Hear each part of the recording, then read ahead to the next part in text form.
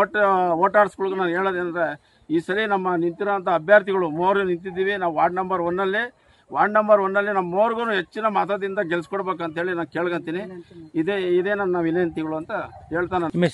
Venkatesh B T Belkere. Manjula Venkatesh.